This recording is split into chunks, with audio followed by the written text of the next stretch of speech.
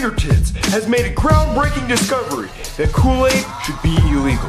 Let's hear. No, that is way better than crack. Oh my god.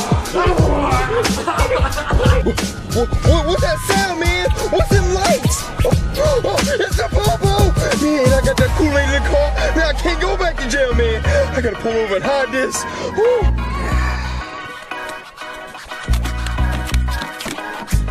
No Kool-Aid, huh? Breaking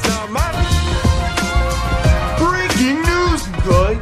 The Kool-Aid Man is now number one on the FBI's most wanted list. He is the one who has created Kool-Aid, and he must be punished. The FBI is doing everything they can to bring him to justice.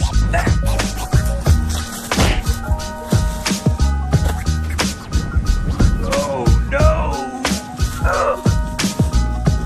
Hey, no, no, no,